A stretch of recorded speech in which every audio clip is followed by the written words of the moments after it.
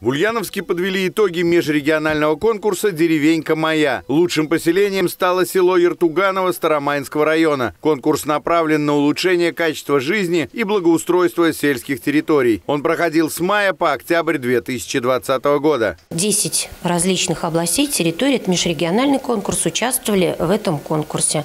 И сегодня э, мы здесь постараемся подвести итоги этого конкурса, вручить дипломы, наградить победителей и э, разобрать э, позитивные стороны и, возможно, какие-то ошибки, которые были допущены во время подачи заявок на конкурс. Цель этого, как и всех подобных конкурсов, побудить жителей заниматься благоустройством территории своего населенного пункта. Желающих поучаствовать в этом деле с каждым годом все больше. Конкурсантов из нашей области было 19. К чести всех участников, из всех поданных нашим регионам заявок не отклонили ни одну. Люди сами э, ну, э, какие-то выдвигают инициативы, сами начинают э, за своим селом ухаживать, да, делать его благоустроеннее.